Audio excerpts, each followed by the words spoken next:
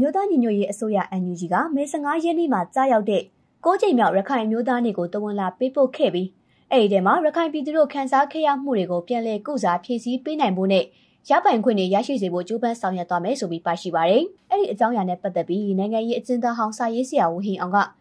NUG အနေနဲ့ရခိုင်ပြည်သူတွေအတွက်အပြောမဟုတ်ပဲအလုံးနဲ့တက်တည်ပြစေခြင်းတယ်လို့ CNN သတင်းဌာနကိုပြောပါတယ်။အပြောမဖြစ်ခြင်းနဲ့ကျွန်တော်တို့ကအလုပ်ပေးဖြစ်ဖြစ်ခြင်းနဲ့ တစ်ခါတစ်ခါမှဟိုအပြောကအရင်များပြီးတော့အလုံးမဖြစ်ရင်လည်းဒါကဟိုပြဿနာရှိရပေါ့နော်အဲသူတို့အရင်ကလည်းအဲ့လို statement တွေထုတ်ပေးခဲ့တယ်ပေါ့ရခိုင်ပြည်ပေါ်မှာတောင်းပန်ပါတယ်ဆိုတော့ဟိုထုတ်ပြန်ချက်တွေရှိခဲ့တယ်ဟိုတောင်းလည်းတောင်းပန်ခဲ့တယ်ပေါ့တကယ်လက်ပြကြလာတဲ့အချိန်မှာအဲ့လိုမျိုးမဟုတ်ဘူးသူတို့ကဟိုတခြားပုံစံတစ်ထပ်ကိုပြန်ပြောင်းပြောင်းပြောင်းတော့တယ်ဒါပေမဲ့အဲ့ထုတ်ပြန်ချက်ဟာထုတ်ပြန်ချက်အတိုင်းမဟုတ်ဘဲနဲ့အကောင့်တွေပေါ်တဲ့အပိုင်းမှာအသက်ဝင်ရင်တော့ပို့လို့ကောင်းတယ်လို့မြင်တယ်သူတို့လည်းရုန်းကန်နေရစေအစိုးရတည်းရလို့မြင်တယ်ပေါ့အတိတ်ကံအဖွဲ့တစ်ခုလို့မြင်တယ်ပေါ့နော် သူတို့ကလည်းမြင်မြင်ရရခိုင်နယ်ပေါ်မှာတော့ဒီဟိုအတိုက်ထမ်းလာလုပ်ပေးနိုင်ဖို့ဆိုတာတော့တိတ်တော့ဟို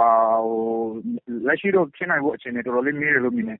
။ UNG အနေနဲ့လက်ရှိမှာရခိုင်လူမျိုးတွေအပေါ်စာနာထောက်ထားတာလူသားချင်းစာနာမှုအရာကိုကြီးထောက်ပံ့နိုင်တာတွေလှုပ်ဆောင်နိုင်တဲ့အတွက်ကြောင့်အတိုင်းအတာတစ်ခုအထိဝင်ရောက်လှုပ်ဆောင်ပေးတဲ့လို့လည်းသူကဆက်ပြောပါတယ်။ပြီးခဲ့တဲ့ NLD အစိုးရလက်ထက်ကတက်မတော်နဲ့ပေါင်းပြီးရခိုင်ပြည်နယ်အပေါ်ဖိနှိပ်မှုတွေရှိခဲ့ပေမဲ့လည်း အခုလိုမျိုးအပြုသဘောဆောင်တဲ့အပေါ်လက်ခံကြိုးဆိုတယ်လို့ရန်ဦးဒေသခံကိုစောထွန်းက CNN သတင်းဌာနကိုပြောပါရယ်ဟိုရခိုင်ပြည်ကတော့ဗျာရခိုင်ပြည်ရဲ့နှစ်ပေါင်း9000ကျော်သမိုင်းဖြတ်သန်းမှုနဲ့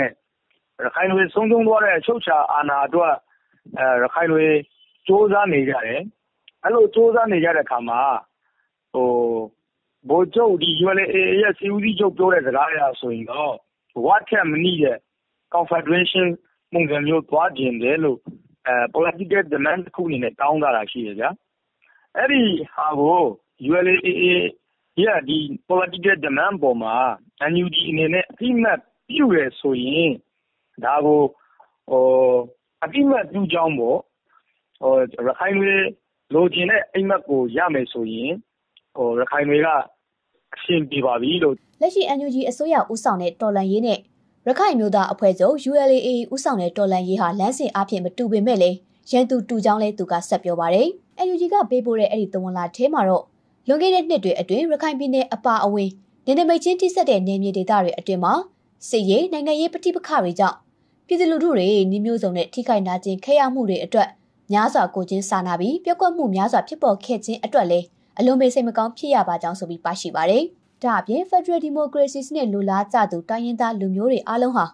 စစ်မှန်တဲ့ Federal Democracy စနစ်နဲ့ပြည်ထောင်စုမြန်မာနိုင်ငံကိုအသစ်တဖန်ပြန်လည်တည်ဆောက်ဖို့ကြိုးပမ်းဆောင်ရွက်လျက်ရှိနေခြင်းဖြစ်ပြီးတော့အဲ့ဒီအချိန်မှာရခိုင်အမျိုးသမီးအမျိုးသားတွေရဲ့ပြေးဝတဲ့ပါဝင်မှုနဲ့အခမ်းကဏ္ဍဟာလည်းအလွန်အရေးကြီးကြောင်းပြောဆိုထားတာပါ။ဒါကြောင့်ရခိုင်ပြည်သူလူထုရဲ့ထိခိုက်နာခြင်းခံစားခဲ့ရမှုတွေအတွက်တရားမျှတမှုရှိစွာပြန်လည်ကုစားဖြည့်ဆည်းပေးနိုင်ဖို့နဲ့